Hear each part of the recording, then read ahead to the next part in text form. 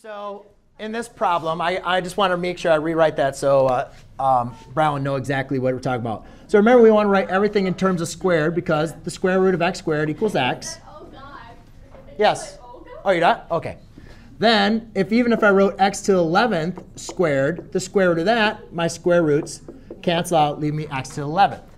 So now when I take the square, if I see if I can rewrite these as square roots, I can rewrite 26 squared, x squared squared, and y cubed squared.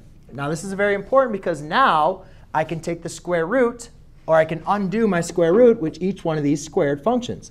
Leave me with 26 x squared y cubed. But the very important for us to understand that this y cubed, right now, we have to make sure that we only are dealing with our positive integer of this. So therefore, we need to make sure we include this to be our absolute value. Okay? Why did you need those?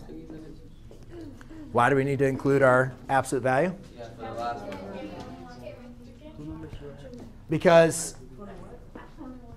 if you read it like this, y cubed, y could be negative or positive, right? So we only want to deal with the positive value of it. So like for the odd, When it's even and even, you're good. But when you go from taking the even root of an odd, that's when we need to make sure you include the absolute.